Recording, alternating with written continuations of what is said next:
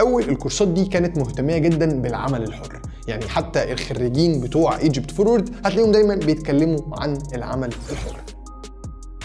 أنا عملت حوالي سبع gigs في خلال الرحلة يعني في خلال ثلاث تراكات بعد أول track أنا جبت أول هندل وبعد كده طول ما أنا ماشي اللي أنا كنت بتعلمه كنت بحاول أطبقه. في خلال الرحلة كلها عملت حوالي سبعه gigs ب total حوالي 4000 دولار العمل الحر أو ال freelancing كان يعني نقدر نقول عليه توجه كبير قوي من الوزارة علشان كده هي بتقدم المنح دي. ونقدر نقول كمان إن هم دلوقتي اهتموا أو عملوا شراكات مع شركات كبيرة إن هم من الآخر كده هيبقى في تعاون إن خريجين المنحة دي يبقى ليهم تسهيلات معينة في الشركات دي. شركات كبيرة زي Vodafone و valU.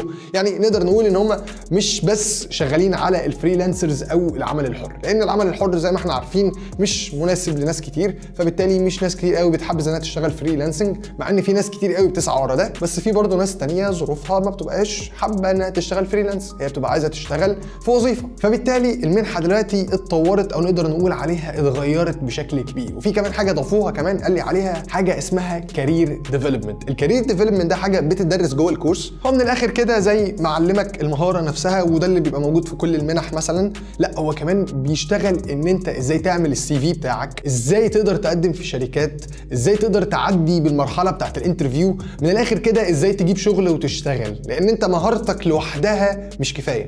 إن انت مجرد بس إن انت بقيت عارف تعمل الحاجة دي مش معناه إن انت هتلاقي شغل. انت برضو هتحتاج تدور على شغل. فدي لوحدها مهارة هو برضو بيعلمها لك. career development ده حاجة أساسية وللأسف في ناس كتير بتهملها أو ناس كتير مش بتركز عليها. فهم في المنحة دي هم مركزين عليها. ده برضو من التغييرات الحلوة أو من الحاجات الكويسة في المنحة.